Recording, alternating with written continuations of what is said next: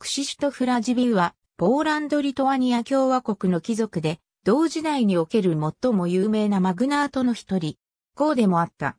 父クシシュトフラジビウピョルンと区別するため、生の末尾に小さいを意味するムート氏、ないし二世をつける場合もある。ニーヤヌシュラジビウもマグナート、帝国諸侯である。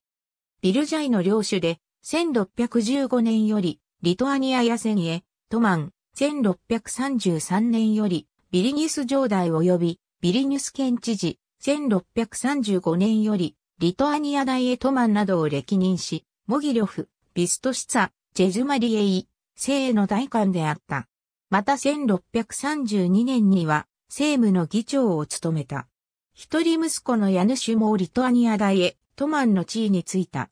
彼は、バルト海地域において1621年から1622年まで、スウェーデンとの戦争に従軍し、和平条約の締結に尽力した。スモレンスク戦争においては、リトアニア軍側の軍司令官であり、ロシア側の降伏を引き出す上で重要な役割を果たした。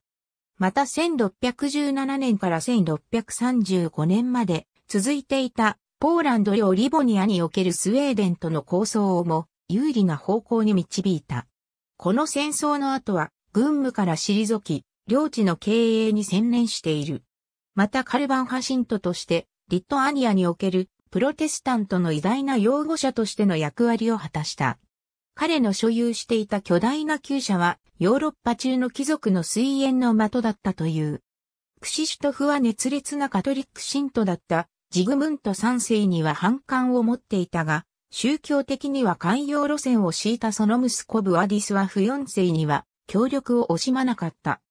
共和国とハプスブルク帝国との同盟関係には反対していた。彼はブワディスワフにプロテスタントの王女との結婚を進言したが、国王がこれを拒んだため、国王の側近からは遠ざかった。